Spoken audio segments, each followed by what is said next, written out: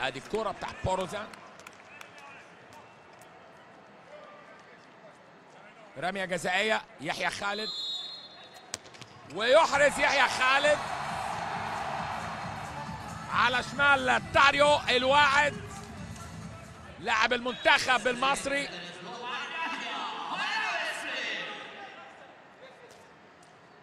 أول أهدافه في اللقاء يحيى.